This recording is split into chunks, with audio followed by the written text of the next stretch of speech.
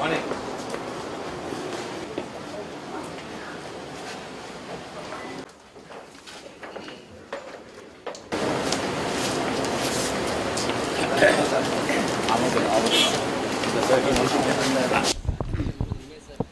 නෑ ඉතින් අදත් ඉතින් සාකිකාරයෙකුගේ සාක්කිය ඇහුවා.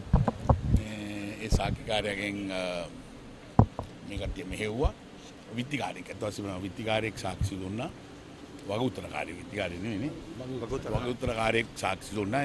ඒක හරස් ප්‍රශ්නයක. භාජනය කරා. මාර්පණ මහත්මයා හරස් ප්‍රශ්න ඇහුවා. දුමින්දත් ඇහුවා. ඉතින් අද තමයි හවසට නෙදෙන්නේ දිනේ මඩුව ගියොත් එනවා. මොකද ඔයාලා ඉන්නවනේ